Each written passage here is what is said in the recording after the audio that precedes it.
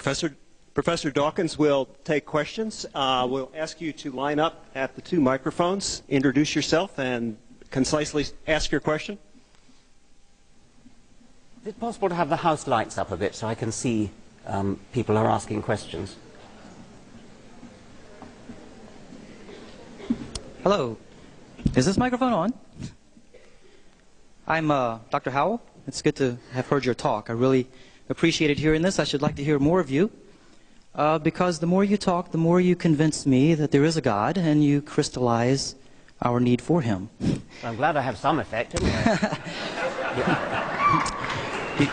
um, as a scientist, I'm a bit disturbed that you would go on a tirade for 40 minutes against God. So could you and talk a bit more clearly? I can't quite Sure. As a scientist, I'm a bit upset by the fact that you would go on a 40-minute tirade against God and then begin talking of science as if to put the authority of science into what you said. But I do have a question about your long discussion about morality and it coming from the Bible, and that you, you accuse people, I suppose Christians, of saying that we get our morality from the Scriptures. Um, but clearly this cannot be the case because humanity from every civilization throughout time has a sense of morality, and clearly most of them have, had not, have not had access to the Bible. So I'm curious then um, what you think is the origin of this morality. If someone comes in here with a gun and begins shooting all of us, we would call that bad. Why? Why Well, is that bad? Um, I think we probably agree that people don't, as a matter of fact, get their morality from scriptures, and that's what I was actually saying. People get their morality from somewhere quite other than the, than the scriptures. Uh, and to the extent that they do get their morality from the scriptures, as I was saying, they pick and choose. Now, if you're asking me where we get our morality from, I think that's an extremely complicated question and one that I'm very interested in. I've got a whole chapter on it in the book, which I didn't have time to read from. I think that a sort of bedrock of it probably comes from our Darwinian heritage as a kind of misfiring byproduct of our Darwinian past when we lived in small villages or small roving bands, which meant that we were surrounded by close kin, and that, as you no doubt know, uh, is one good prerequisite for the evolution of altruism under Darwinian rules. And also, in those small villages or roving bands, we would have been surrounded by people whom we are likely to meet again and again throughout our life, which provides the basis for the other main Darwinian reason to be moral or altruistic. That, I think, is the Darwinian origin. And I suspect that although we no longer live in small bands, the same rule of thumb, rules of thumb, which were honed in our Darwinian past, are playing themselves out under the alien conditions of modern urban society. The rule of thumb used to be be nice to everyone you meet, because everyone you meet is likely to be either a cousin and or somebody you're going to meet again and again, and therefore in a position to reciprocate. Darwinism doesn't forecast, doesn't suggest that we should be all wise and do what is actually going to be best for our selfish genes. Instead, it says that it builds into our brains rules of thumb which worked in our ancestral past.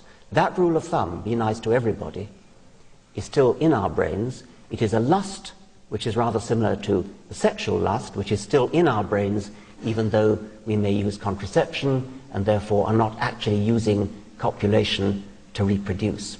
The same rule of thumb persists, and that is also true of the lust to be good, the lust to be nice. That, I think, is the Darwinian origin.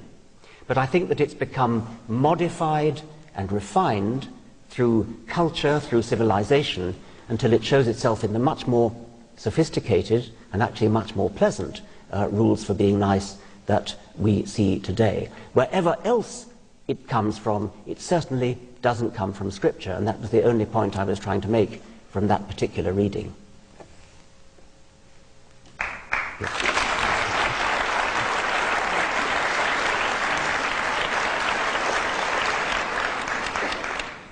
Well, hello there. Oh, well, welcome to welcome to America. Uh, I, have been reading your book.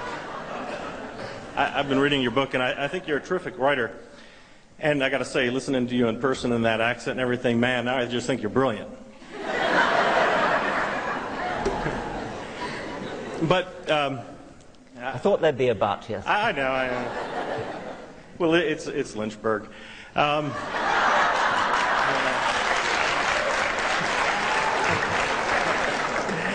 Well, I, I, am, I am a theist. Uh, you'll be disappointed to know. But uh, my, you know how um, Bertrand Russell, you know, said that uh, if he faced God, he'd ask, you know, where, you know, he didn't give enough evidence. Where was the evidence all that?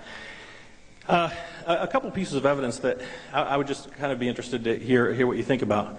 Um, pertaining to this uh, issue of ethics, I I read this chapter on, on ethics in your uh, book. I found it interesting. Um, I mean, you were dealing with the, the origin of our moral sense, more so than I think the origin of morality itself. You, you'd probably agree, right? Um, so, so, you know, you, you still wonder what is it about the world that makes some things, you know, uh, right and, and some things wrong, some things good, some things bad. And, and you know, you, you want to retain the language of, of some things are evil. And, and you give a lot of religious examples. And I'm, I'm in agreement with you on some of the, you know. Um, but if we're going to retain these categories, these very strong, you know, moral categories, it, it seems to me that naturalism is going to be very hard pressed to kind of provide an account um, for, for where real good and evil would, would be. I mean, um, I'm not sure how, how entirely we can simply assert the existence of value without providing a, a Yeah. deeper account for it. And, and one other, moral freedom as well. Uh, it seems to me that if, if the naturalist is kind of um, shackled, you know, I mean, a naturalistic world, it would seem as if we're just bound and determined to behave just the way that we do. If morality is all about ought, and ought implies can, how can we ever do anything other than exactly what it is that we do? So I'd, I'd be real interested in your responses to those things. Well, I think it's a problem for all of us. I mean, not, not, not just for naturalists. I, I think it is actually fairly baffling where our morality comes from and why we're, we're, in fact, as nice as we are. I mean, the professionals in this field are moral philosophers, and moral philosophers, the majority of them, are, are not theologically inclined. I mean, they tend to develop ideas, the simplest of all, the one, the one we all know about is the, is the golden rule be, behave to others as you would wish they should behave to you. And moral philosophers have developed other such principles. Um, uh, always oppose suffering, um, always uh, behave as if you didn't know whether you were going to be at the top of the pecking order or the bottom. These are all moral precepts which moral philosophers have developed. Now, it's a genuinely difficult question why any individual should wish to follow such moral precepts. If I ask myself, I, I'm actually a very moral person, I think, and I'm sure most of you are too. Um, if I ask myself why I don't steal, why I pay my taxes, why I do the, all the things that keep society going, I suppose it's a slightly irrational feeling that I wouldn't wish to live in the kind of society where people behaved in the sort of ways that I wouldn't wish them to, be, to behave in, and therefore I shouldn't behave in those ways either. Now, that isn't entirely rational because if I behave in an antisocial way, then that doesn't actually stop anybody else doing the nice things to me that, um, well, it, maybe it does, and that, that could, could be the problem. But it is a genuinely difficult problem why we are moral. All that I wish to assert today is that, um, is that religion certainly doesn't help. Or if it does, I mean, if there's anybody here who thinks that they're moral purely because they're frightened of what God might do if they're not, I mean, that's a pretty contemptible reason to be moral. And, and I don't think we pr- probably have much respect for people who only behave well because of the great surveillance camera in the sky. Um, so I think that, that, uh, that I'm sure all, all of us here are, are moral for, for better reasons than, than that, although I quite agree with the questioner, it's genuinely difficult to decide uh, why, why we are. Thank goodness we are.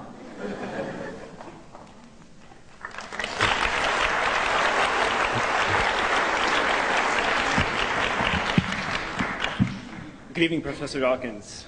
Uh, my name is Thomas Lekowski. I come from uh, Thomas Jefferson's University, here to ask you a question.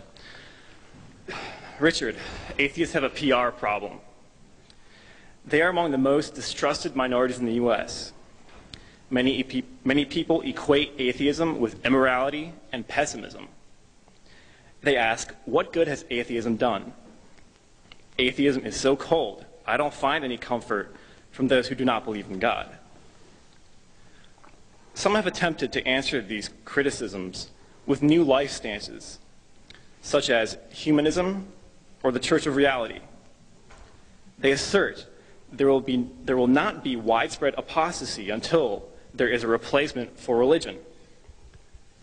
Sam Harris says, We must find ways of meeting our emotional needs that do not require the abject embrace of the, of the preposterous.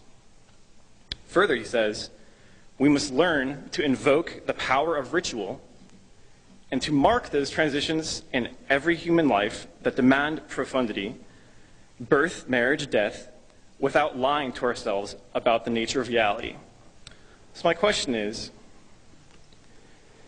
do you, what is your view of that assertion that there will not be widespread apostasy until we find a replacement for religion? Yes, thank you. That's an extremely interesting question, um, a very important one. If it is the case that people find consolation and comfort in religion, then I'm not in the least surprised, but note that that doesn't in any way imply that religious beliefs are true. What is comforting and what is true are two entirely different things. It's important to get that out of the way first, because there are people, I'm sorry to say, who can't tell the difference between that which is comforting and that which is true. Um, if you don't see the point, uh, imagine a doctor telling you you're absolutely fine when actually you've got terminal cancer.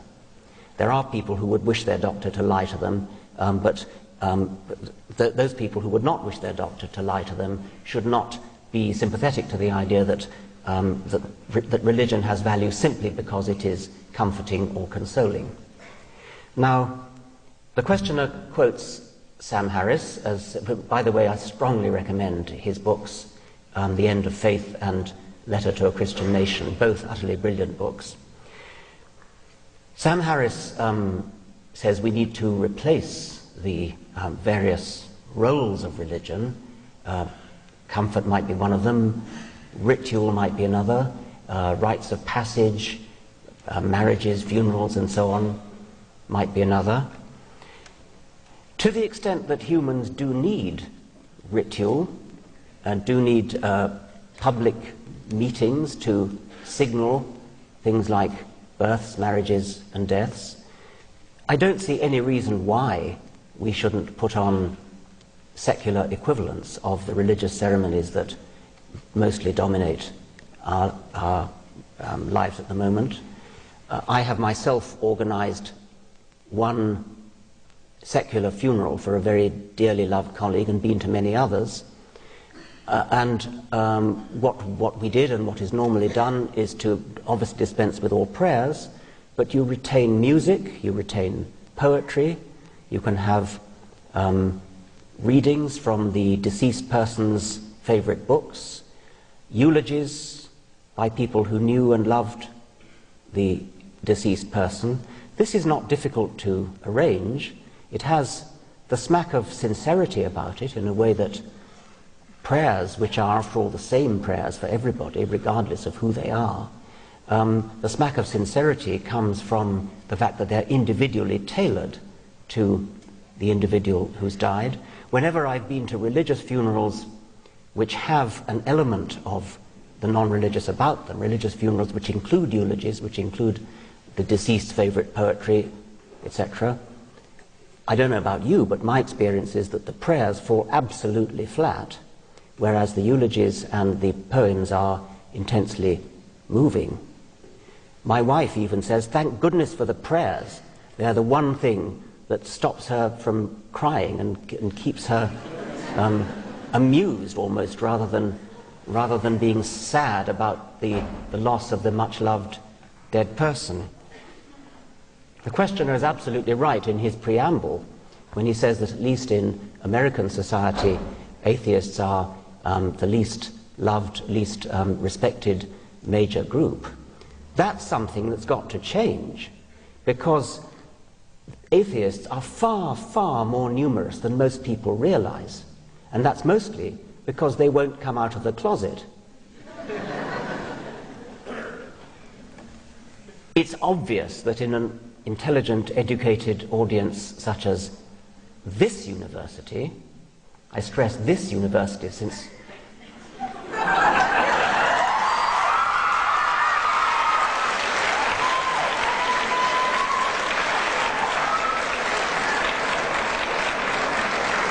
who was it saw who was it saw fit to give them accreditation i'd like to know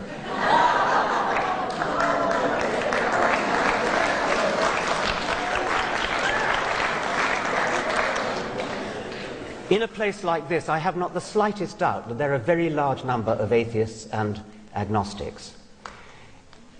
What is wrong with everybody in that position throughout the country, standing up, recognizing each other, joining together, and forming, I won't say a lobby, because somebody suggested that organizing atheists is rather like herding cats. they are, on the whole, too intelligent and independent minded to lend themselves to being herded. But if, a, if an atheist lobby could be got together which showed a small fraction of its numerical strength, it would outnumber, for example, the Jewish lobby, which is formidably and notoriously powerful in this country. There are more secularists, agnostics, and atheists in this country than there are Jews. But do they have a voice in politics? Is it possible for an atheist to get elected to high office in this country? No. The Congress of this country is presumably, at least partly, derived from the intelligent, educated wing of the country. That being so, it is statistically almost inconceivable that a substantial number of members of Congress are not atheists. Obviously, many of them must be. And yet, not a single one of them will admit it. They are forced to dissemble, even to lie about their religious convictions, because that's the only way they can get elected. Well, isn't that something that the American electorate ought to be doing something about? So I accept the question as premise and suggest that it's up to, well, I'm not an American citizen, so it's unfortunately not up to me, but up to all of you to do something about it and to change the status of atheists in this country and to change the electability of atheists in this country.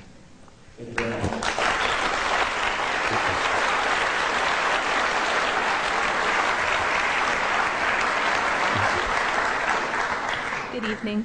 My name is Amy LeMay Hammond. I'm a first year student at RMWC. And Sorry, I didn't hear that. my name's Amy LeMay Hammond. I'm a first year student at RMWC. Thank you, yes, okay. And firstly, I'd like to thank you for recognizing that there are probably many atheists in this room and that we are not morally dangerous or have no morals. Um, my question is in the case of sort of mock religions such as uh, the invisible pink unicorn and such, which I'm sure you're familiar with, do those help the atheist cause or do they actually hurt it by creating sort of um, hilarity about religion? Okay, they do, they do one good thing. They, they, they, they answer one question, and it, it's a very important question because it's a very ubiquitous one. It's the following question You cannot disprove the existence of God. Now, amazingly, there are a lot of people who think that's a powerful argument. You cannot disprove the existence of God, which somehow seems to suggest to them, oh, well, therefore, the existence of God must be about equally likely to the, to the non existence and non existence must be approximately equally likely. And the point about the invisible pink unicorn and the flying spaghetti monster and the celestial teapot and all those e- examples is simply to demonstrate that it's just not the case that because you cannot disprove something, therefore that makes it the slightest bit likely. And so that, that, that's, that, that's the sole purpose of them. It is a very important purpose. Thank you.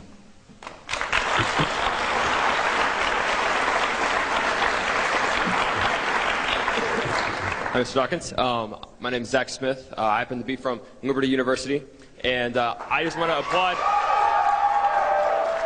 your uh, your uh, atheist wit because I have never at the same time been uh, so insulted but amused at the same time. So uh, I, just, just, want to say that was a good one. But um, my I have to forego my original question with the PR state of uh, the atheist, uh, atheists that uh, you've you know imply that there's some kind of social justice uh, issue at, at, at, at, stake here by saying that it's you know wrong or that, that ought to be, and that kind of language kind of implies that there is some kind of moral standard. I'm, I'm wondering if, if you know from from your perspective, what kind of moral standard could uh, be a basis for that kind of social justice if if indeed there's no higher power? Uh, I, I, just oh well. Um, first, I, I, don't understand why you should feel insulted. I, I, didn't insult you. I insulted God, and that's a very different. Um,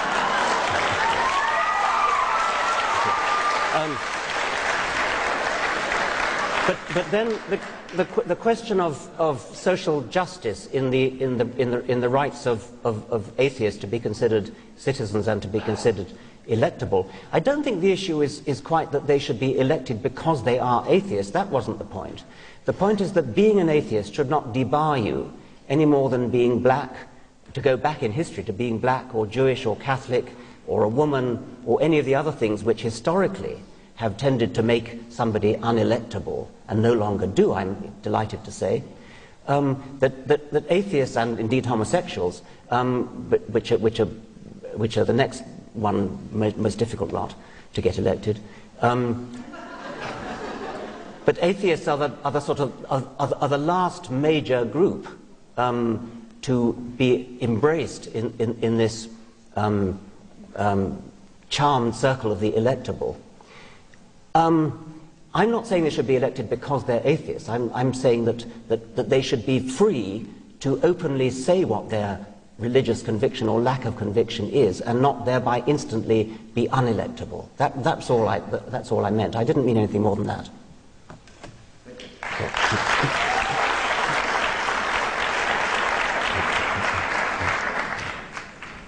Thank you. Uh, I just would like to say at the outset, I thank you for, for coming and putting yourself, in a sense, on the firing line. And insofar as you've taken on God, you, you have um, always the opportunity that uh, God might win. So um, I, I, would like just to call your attention to something that, in, in my hearing of your, your talk, um, you mentioned in a, in a the sense of ridicule about the Trinity and, and its affront to reason, very difficult to understand, even make sense of, and you know why would a person even try, for that matter. But you, interestingly enough, you finished your lecture with quantum strangeness, which in, in fact is the same problem for scientists as the Trinity is for believing Christians who have a need to understand. Just making that comment. Um, and, and I'm recalled I, I spent most of my life being an atheist or a non-believer in that sense, and I've seen the world through that lens, and I understand the logic of it, and and so on. Uh, when I became a believer, um, I also noticed that uh, the same world out there was being viewed through a different meta metaphysical lens, and I would suggest to you that there's a burqa as well for metaphysical reality you can shift up and look through faith, or you can shift down and look through human intelligence or, or human understanding. Call it reason or intuition or whatever. But I would call to your attention that there is a whole new reality that comes. It's not uh, supernatural in the sense, but it's a shift in understanding. Yes. Um, I, I, I, think that's a, very interesting point, and I, I can answer it with reference to how you began, which was the comparison between quantum theory, which is deeply mysterious, and the mystery of the Trinity, and you um, implied that there's a sort of comparability between those, that they are both um, deeply mysterious, so why should one prefer one over the other? The answer to that is actually very simple. Quantum theory yields experimental predictions which have been verified to an accuracy, number of decimal places, so accurate that the great theoretical physicist Richard Feynman compared it to the accuracy of predicting the width of North America to the accuracy of the width of one human hair. That is why quantum theory has to be taken seriously. And it doesn't matter, well, it does matter, but it's, um, one can take in one's stride because of the brilliance of the experimental verification. It doesn't matter that quantum theory is so mysterious that, as Feynman himself once said, if you think you understand quantum theory, you don't understand quantum theory. it is true that the human mind, and I believe the reason is that the human mind evolved in middle world, where the strangeness of quantum theory never impinged upon human life. It is true that the human mind cannot grasp, cannot visualize, cannot imagine the assumptions that quantum theory need, needs to make. But human physicists doing experiments can verify the predictions of quantum theory to a, an accuracy which is utterly stupefying and which leaves one in no doubt that in some sense quantum theory must be right. Nothing remotely like that could ever be claimed for the doctrine of the Trinity, nor, by the way, is the doctrine of the, of the Trinity anything like so interestingly mysterious as quantum theory.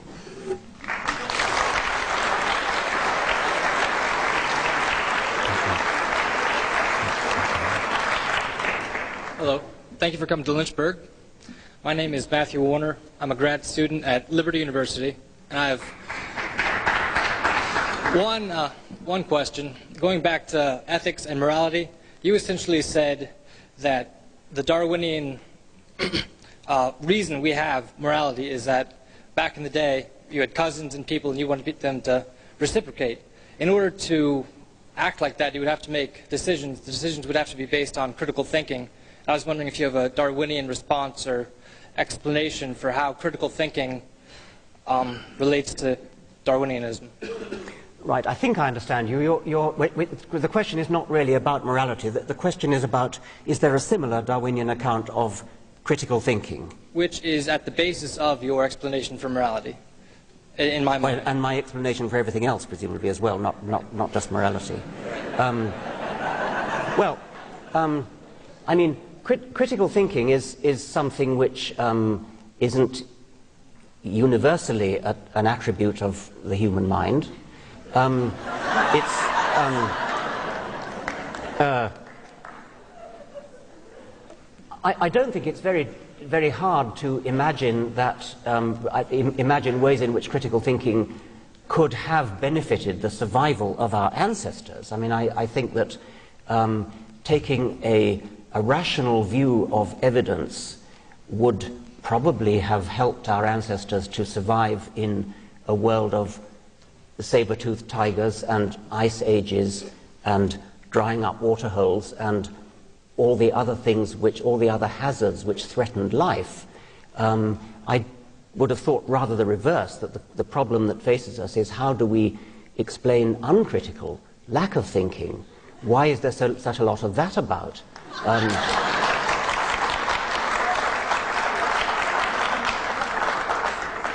and uh, I, I, mean, I do have a chapter I- explaining that, but I should have thought that was a, that was a rather harder problem than, than the one about, about uh, critical thinking.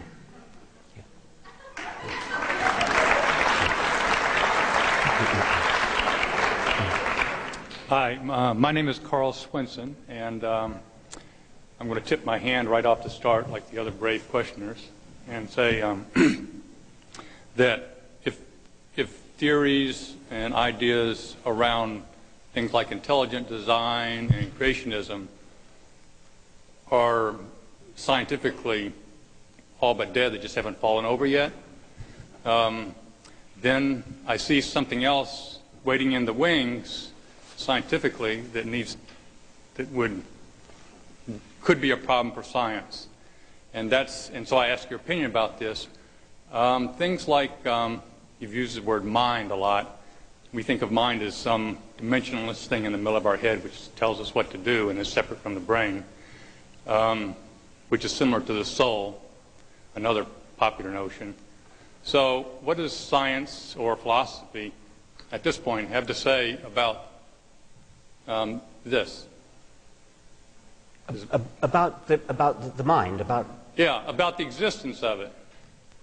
That uh, or the soul or the popular notions of it. Well, uh, um, I mean, my, my, my view would be a materialistic one. Not everybody's would. And, and my, my view would be that uh, mind and soul and consciousness and all those sorts of words are, they, they describe something which is a manifestation of the material brain and doesn't have any existence outside material brains, where material brains could at some future date perhaps include silicon brains, not, not just neuronal brains, but there has to be some sort of uh, physical medium, doubtless highly complicated, highly interconnected, a network of, um, of complicated wiring diagram, uh, which um, uh, by, by some means which neurophysiologists are now working on, results in the phenomena which psychologists study and which we colloquially give names like mind and even soul too. So I don't think that the mind is an immaterial thing that has any existence outside the material world.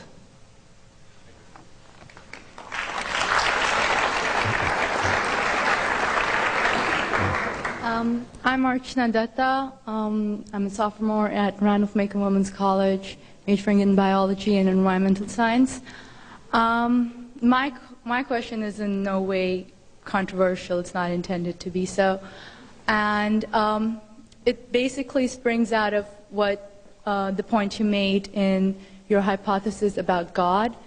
Um, do you imply that we may evolve to become God, or do we share a common ancestry with God?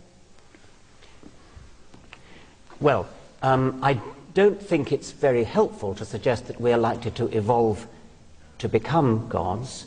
I do think that um, there may very well be somewhere in the universe being, evolved beings which are so far advanced compared to us that we would, if we saw them, we might very well be tempted to call them gods.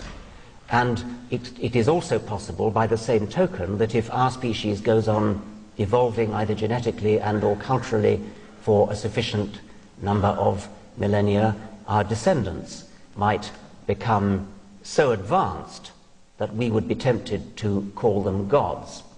However, uh, I don't think I would wish to call them gods because however advanced they are, however ingenious, however intelligent, however um, their technology would strike us with awe, they would still be evolved beings. They would be beings that had evolved by a process of slow, gradual, incremental evolution.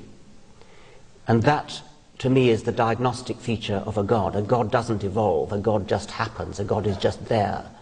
And so um, I, I, think my answer to your question is it's an interesting thought, but, in, but, but actually I don't think it would be a helpful use of the word God any more than if a Stone Age hunter were to suddenly be transported into the 21st century uh, and would, of course, be awestruck by computers and mobile phones and Boeing 747s and helicopters and rockets to the moon, that Stone Age hunter might be tempted to call us gods, but I think it's a temptation that he should resist, and so should we.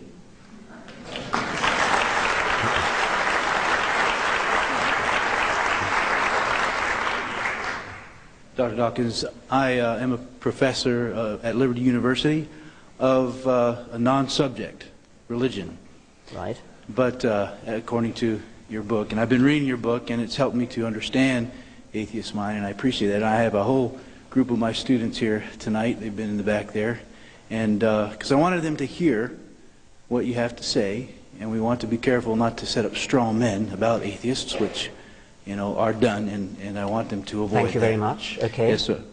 But I, I wanted to uh, read from your book. You've been reading from your book, and right. I find it uh, interesting. This footnote on page 82 we might be seeing something similar today in the overpublicized tergiversation of the philosopher Antony Flew, who announced in his old age that he had been converted to belief in some sort of deity. Now, I wanted to read that footnote before my question. Right. You would consider yourself a de facto atheist leaning toward strong atheist, category six, leaning toward seven. Uh, apparently, because you would say the evidence demands your being an atheist, not a theist. For you, the evidence makes the existence of God highly improbable. So, my question is what evidence would you need to conclude that God's existence at least was as probable as that of extraterrestrials?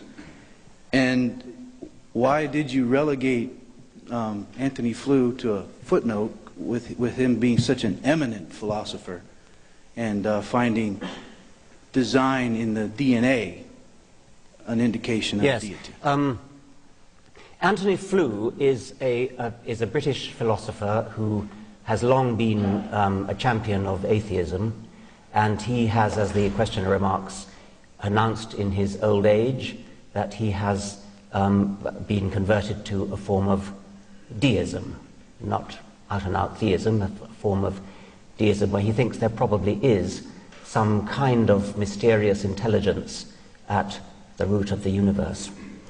Many great people have thought the same.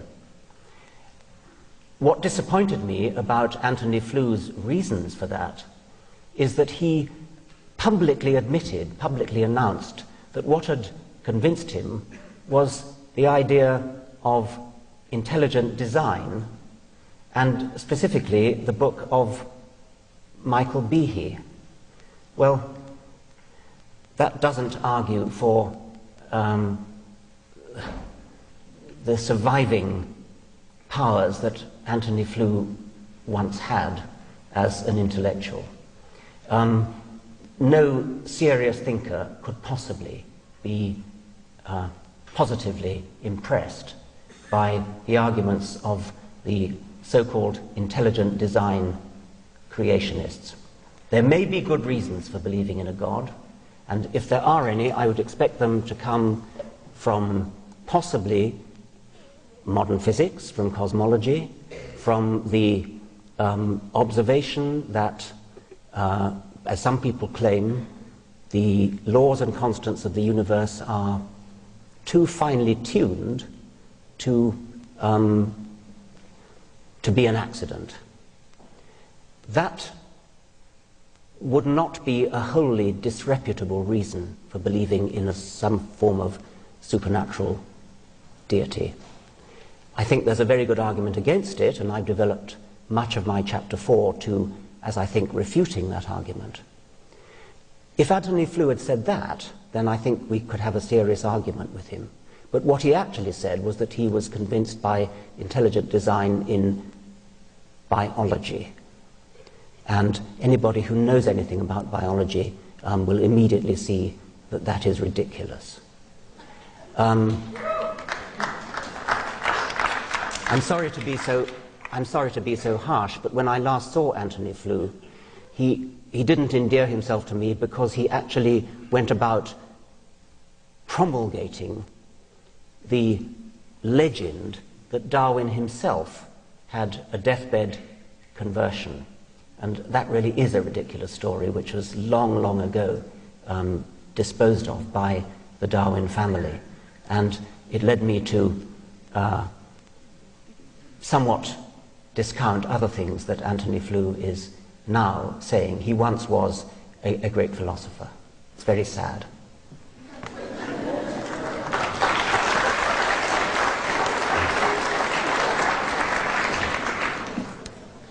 Good evening. Uh, my name is Ryan Thomas. I'm a biology major at Liberty University, and uh, I kind of have a two. I kind of have a. Sorry, I, I'm having a hard time hearing. Oh, I'm sorry. I my name is Ryan Yes. Thomas. I'm a biology major at University at Liberty University right now, and uh, I have a two-part question for you, if you don't mind. Um, my first question would be: Do you draw a distinction in between blind faith and reasonable faith? Okay. Um, is there a distinction? Do I draw a distinction between blind faith and reasonable faith? No.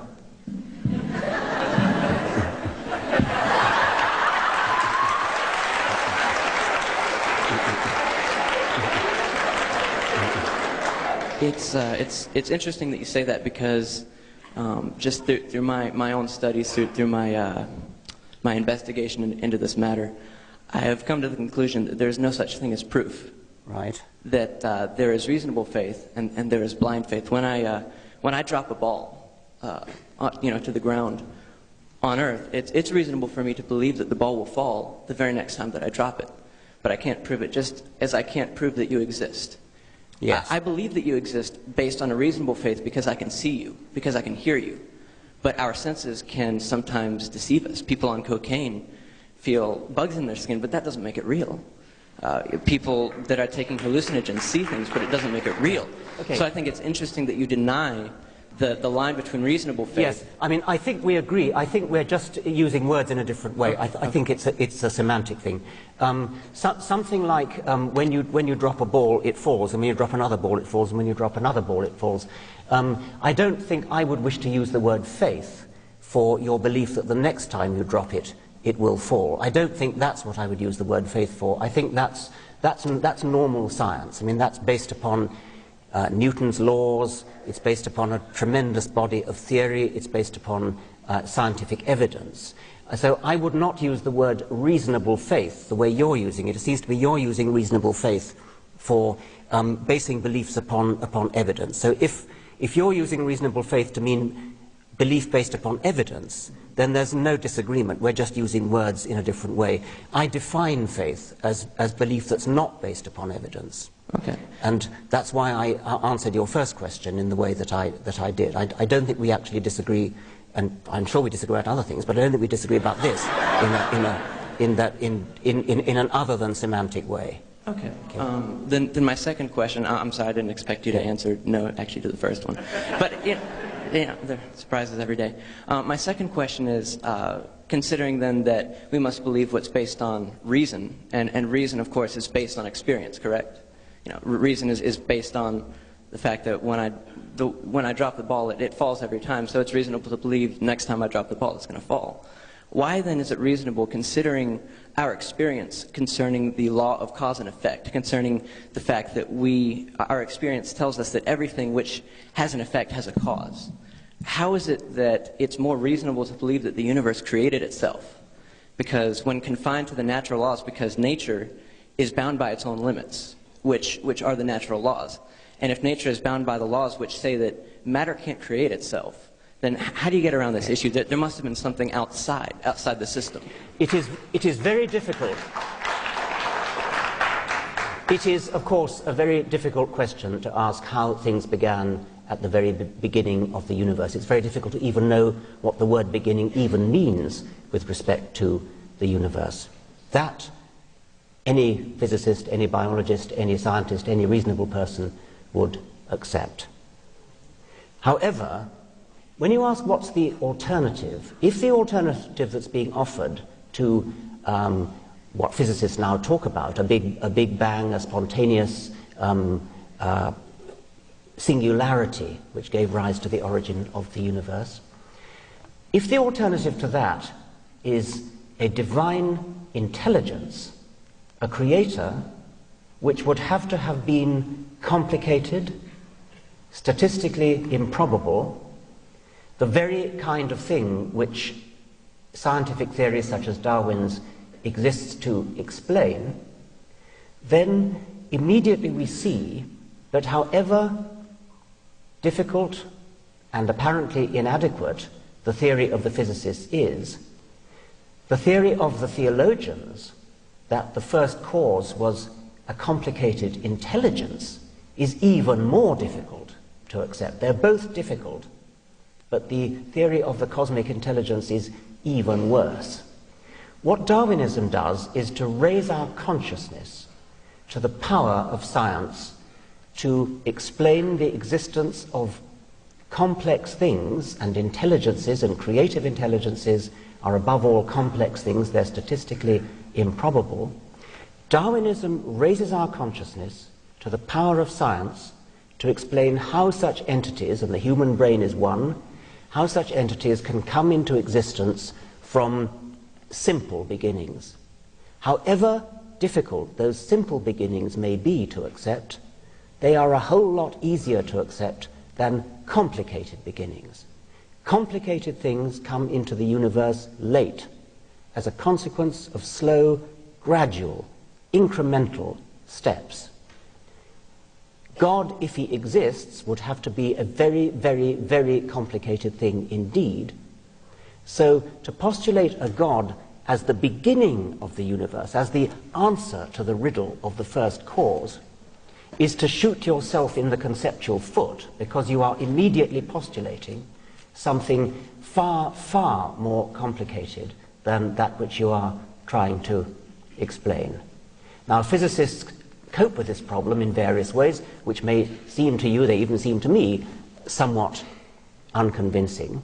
For example, they suggest that um, our universe is but one bubble in a foam of universes, the multiverse. And each bubble in the foam has a different set of laws and constants. And by the anthropic principle, we have to be, since we're here talking about it, we have to be in the kind of bubble with the kind of laws and constants which are capable of giving rise to the evolutionary process and therefore to creatures like us. That is one current physicist's explanation for how we exist in the kind of universe that we, that we do. It doesn't sound so shatteringly convincing as, say, Darwin's own theory, which is self evidently very convincing. Nevertheless, however unconvincing that may sound, it is many, many, many orders of magnitude more convincing than any theory that says complex intelligence was there right from the outset. If you, if you have problems seeing how matter could just come into existence, try thinking about how complex intelligent matter or complex intelligent entities of any kind could suddenly spring into existence. It's many, many orders of magnitude harder to understand. One more thing. Sorry, you've had three already.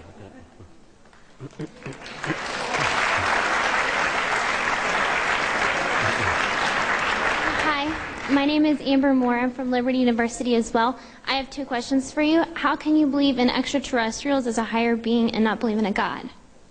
Could you just say that again?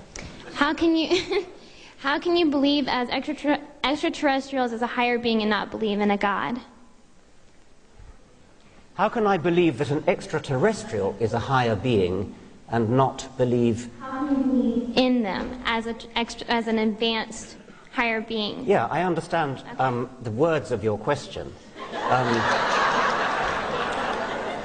an extraterrestrial higher being, if one exists, comes into existence as the end product of a long, slow, gradual, incremental process of evolution, just like the one that gave rise to us. That's the explanation for why the extraterrestrial, if it is indeed an advanced being, is an advanced being. It's a very sensible, easy to understand explanation. It's a gradual explanation. You start from simple beginnings and you work up. God isn't like that. God is a being that is not supposed to have evolved. God is a being that has always existed and therefore does not have the benefit of that kind of sensible, rational, gradualistic explanation. That is an absolutely crucial difference. I suspect that on other planets there probably are beings, as I said before, which are so far advanced relative to us that they might as well be gods, except for this one absolutely crucial respect that they came into the universe by slow, gradual degrees. They didn't just happen. Nothing as complicated as that just happens. They didn't just happen, and therefore they or it or he or she could not be responsible for designing the universe. Okay, my last question. This is probably going to be the most simplest one for you to answer, but what if you're wrong? Well, what if I'm wrong? I mean, anybody could be wrong. We could all be wrong about the flying spaghetti monster and the pink unicorn and the flying teapot. Um, you happen to have been brought up, I would presume, in the Christian faith. You know what it's like not to believe in a particular faith because you're not a Muslim, you're not a Hindu. Why aren't you a Hindu? Because you happen to have been brought up in America, not in India. If you'd been brought up in, in India, you'd be a Hindu. If you were brought up in, in um, Denmark in the time of the Vikings, you'd be believing in Wotan and Thor. If you were brought up in, in classical Greece, you'd be believing in, in Zeus. If you were brought up in Central Africa, you'd be believing in the great Juju up the mountain. I mean, there's no particular reason to pick on the Judeo Christian God in which, by the sheerest accident, you happen to have been brought up and, and ask me the question, what if I'm wrong? What if you're wrong about the great Juju at the bottom of the sea?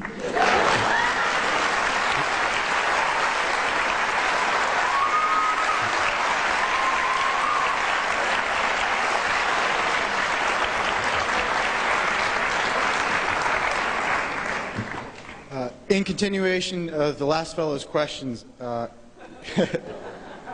the problem is that you're applying natural laws to God, whereas He claims to exist outside of them. Therefore, He does not necess- necessitate a beginning, unlike matter, on the other hand, which, ne- which necessitates a beginning. Well, isn't that just too easy? I mean, you, you talk your way out of having to provide a rational argument by just decreeing by fiat that God that, that God simply de- declares himself outside matter and therefore doesn't need the same kind of, of argument as, as anything else. I mean, if you're convinced by that kind of thing, you're welcome.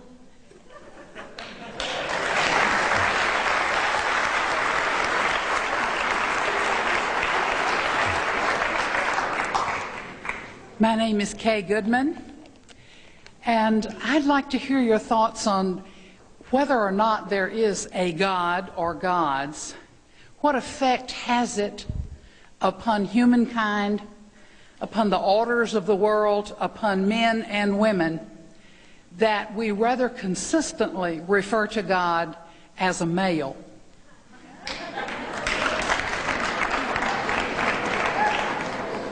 Well, That's a perfectly fair point, uh, and um, I, um, I mean, to, to me, to me, there, there is no difference between a non-existent male and a non-existent female.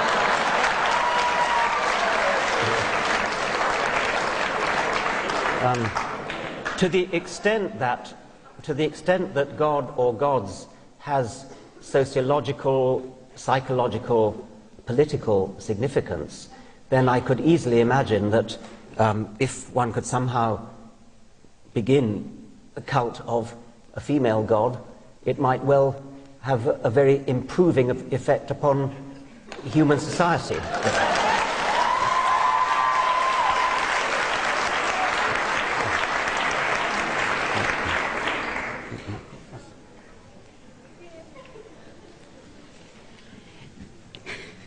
I'm nervous. Amber Dawn, student here at Randolph Macon. Um, thank you for that previous answer. Um, I'll give you a bit of reprieve. I am not challenging you in any way, shape, or form. Um, and I only wrote this down because I knew I'd forget what I wanted. As someone coming from a religious family, especially in an area with such a dominant religion and a particular figurehead, how does someone find their own way when leaving is not quite an option? Uh, I didn't quite the last sentence. how does one find their own way when leaving just yet is not quite an option? Okay. Um, First, and I have a small. I think this is a very serious question because I've had, I've had letters from really quite a lot of people, in, especially in America, and they say things like, I, am actually an atheist, but I daren't admit it. Um, I'm frightened of my family, I'm frightened of my parents, um, I'm frightened of my minister. Um, I read an article the other day about a boy in a, a small town in Texas who didn't want to be confirmed. And the priest said, well, that's okay. You don't have to be confirmed, but you have to write down your reasons for not being confirmed. Why did the boy have to write down his reasons for not being confirmed into that particular church? He didn't have to write down his reasons for not being bar mitzvahed as a Jew. It just so happened that he was born into a Christian family, and therefore the presumption was made that he'd better have a good reason for not being confirmed into the religion of his parents or else. And that's one of the main problems we have, is the assumption that our society makes, regardless of whether we are religious or not, we all buy into the convention that children belong to the religion of their parents. You will see newspaper articles talking about Christian children and Muslim children and Jewish children, children who may be as young as three or four years old and who are therefore obviously much too young to know what their beliefs are about the cosmos and humanity and religion. There is no such thing as a Christian child there is only a child of Christian parents. Whenever you hear the phrase Christian child, or Muslim child, or Protestant child, or Catholic child, the phrase should grate like fingernails on a blackboard. Just as the feminists have raised our consciousness to phrases like one man, one vote. You can't hear that phrase now without sort of at least wincing slightly because you realize it should be one person, one vote. At present, we haven't had our consciousness raised about the labeling of children with the religion of their parents. That's just one aspect, and it shows itself, to return to the questioner, it shows itself in a great deal of difficulty that any young person has, indeed any person of any age has, in departing from the religion of their parents, their social group, their grandparents, their uncles and aunts, and so on. It might be a bit like getting divorced. I mean, it's sort of something that raises um, real social problems. There's a magnificent one woman show by the comic actress Julia Sweeney called Letting Go of God, in which she describes her own journey from Catholic upbringing to the mature and balanced atheist that she is today. And she describes the difficulty of admitting to her family that, that she had become an atheist. It actually was reported in, in, in a newspaper, and her mother read it and screamed down the telephone. And Julia Sweeney, it's very witty, a very funny performance she, she does. She says um, that her mother was absolutely horrified. Not believing in God was one thing, but an atheist?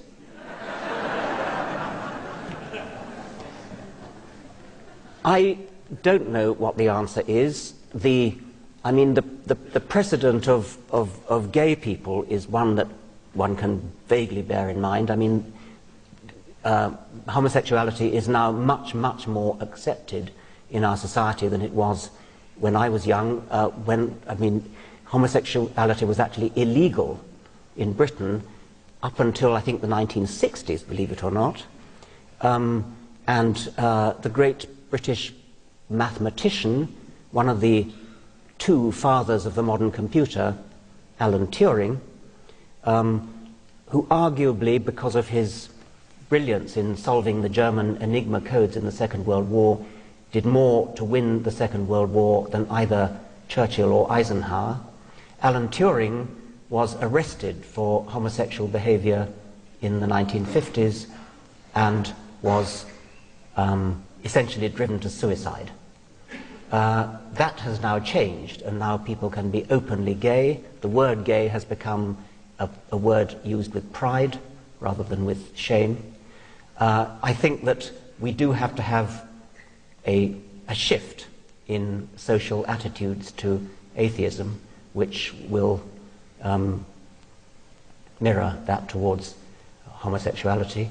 Um, it is, after all, just a view about the cosmos and about um, various other things, about humanity, about morality.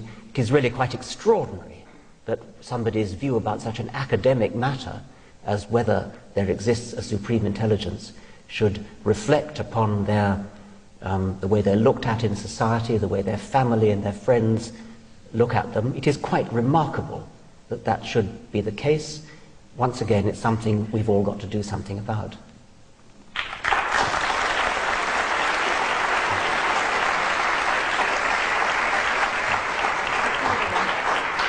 Um, last question, very simple. Is anger a common symptom of a person who is going through the deconditioning process of their parents' religion? I, I didn't. I think you're too close to the microphone. I said, is anger a common symptom of a person who is going through the deconditioning process of their parents' religion? Um, is anger a common symptom of a person who's going through the, a deconditioning process from their parents' religion? I don't know. Um, uh, I, it had never occurred to me. Um, does anybody else have personal? Um, um, I, I, I think sort of fear is, is probably more common. I mean, fear, fear of, of um, what their parents are going to think rather than anger, but, I- but I could be wrong. Um, I'm, I'm interested in that. If, if that's, that question is based on personal experience, I'd be interested to hear more. Is, is, is, is that a common experience? Wow. Ang- anger on the part of the person who is undergoing the deconversion themselves? Anger against whom or what?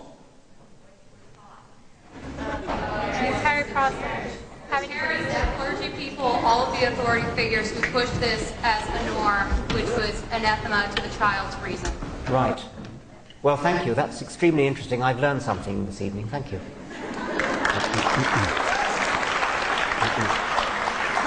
Hi, I'm Ron. I'm Ron Feynman. I love physics. Um, two, two, que- two questions, if I may. Uh, at Liberty University, they have uh, on display some fossils that they say are, I might be off by a factor or by a thousand years or so, but they say these fossils of dinosaurs are 3,000 years old, maybe 4,000, maybe 5,000.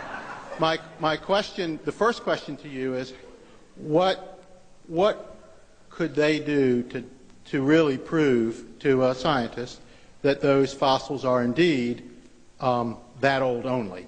Um, that's number one. And then number two, would you be willing to elucidate a little bit further your um, arguments against creation by design and maybe give us some better sense of cosmological time, just how long it really is? Right. Um, the, the belief that dinosaurs are only 3,000 years old and uh, that the, the universe is only 6,000 years old, how to give an idea of the real time span um, of the world. When what, one way to put it, which I've recently been think, thinking about, is that if somebody believes that the world is only 6,000 years old, or of the order of a few thousand years old, when the true age of the Earth is um, of the order of a few billion years old, that means they're out by a factor of a million, um, which is not a trivial error. Uh, it's, I mean, I, I am not very good at, at, at, at arithmetic, and I calculated that it's equivalent to believing that the distance from New York to San Francisco is 700 yards. uh, but I received a letter from um, a, ma- a mathematician who'd done, his, done the sum again, and he said I got it wrong. It's actually equivalent to believing that the distance from New York to San Francisco is 28 feet. Um, either way, it gives you an idea of the scale of the error. Uh, the questioner asked what would uh, the um, people of Liberty University have to do in order to demonstrate that these dinosaur fossils really were 3,000 years old. Well, what they would have to do is to find igneous rocks which uh, were found in proximity to or sandwiching the, the fossils and date these by radioactive dating several different, half a dozen at least, different forms of radioactive dating, all of which give independent estimates of the date of these fossils. And all those different methods of doing it should point to an age of 3,000 years. In fact, of course, what those uh, methods of dating all show is that dinosaur fossils are hundreds of millions, no less than 65 million years old. Not just one method of radioactive dating, lots and lots of different methods of radioactive dating, different clocks, clocks working on completely different principles that, that all point to the same order of magnitude of age of these dinosaur fossils. If it's really true that the museum at Liberty University has uh, dinosaur fossils which are labeled as being 3,000 years old, then that is an educational disgrace. It is debauching the whole idea of a university, and I would strongly encourage any members of Liberty University who may be here to leave and go to a proper university.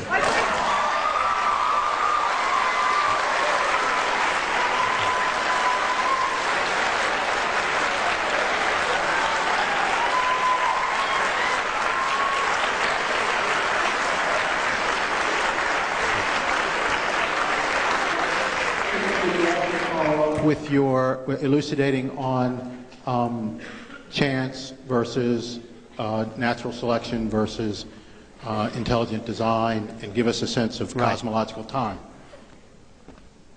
um, chance and natural selection and intelligent design.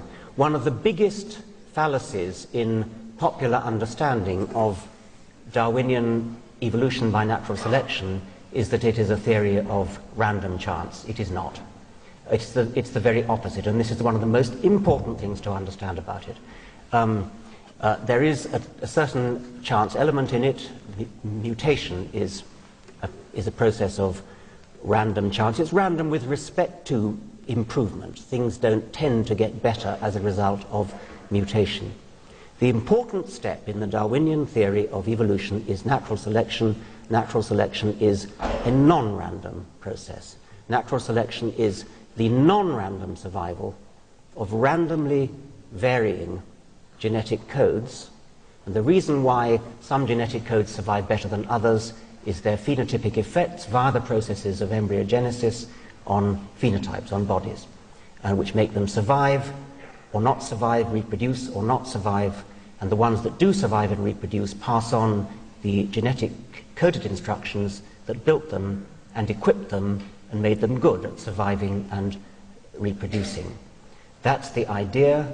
Um, that is the explanation for the apparent adaptive design, the, the, the, the illusion of design which all living things show. It is a non random process, it does not involve design of any sort, um, it produces an illusion of design.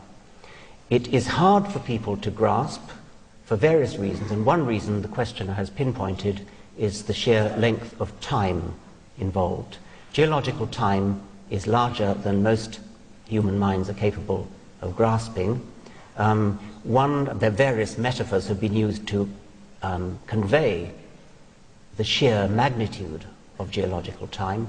One that I like, which I didn't invent, is you hold out your hand to represent the, um, the, the length of geological time. And if, say, the middle of my tie is the origin of life and the tip of my finger is the present, then the dinosaurs, which went extinct 65 million years ago, um, lived about there. Most of this is bacteria. You have, um, you have um, multicellular life evolving about here, dinosaurs about there, humans at my fingernail, and the whole of recorded human history, everything from the Egyptians, biblical times, the Romans, the Assyrians, the Greeks, all of human history disappears in the dust from one stroke of a nail file. That's the, the scale of human history is, is the dust from one stroke of a nail file on the same scale as the time that's available, that has been available for evolution. That is one of the reasons why people find it so hard to understand. There are many reasons. I've written about eight books on the subject um, which um, preceded the God delusion, and it, it's a little hard to condense it into a few minutes. Uh, thank you very much.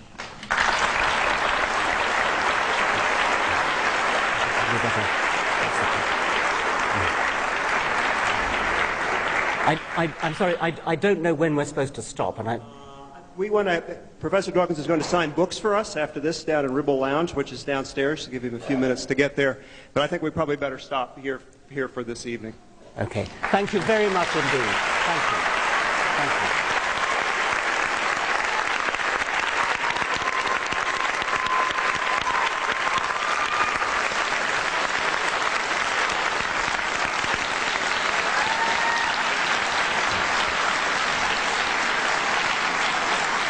Very many thanks. Thank you.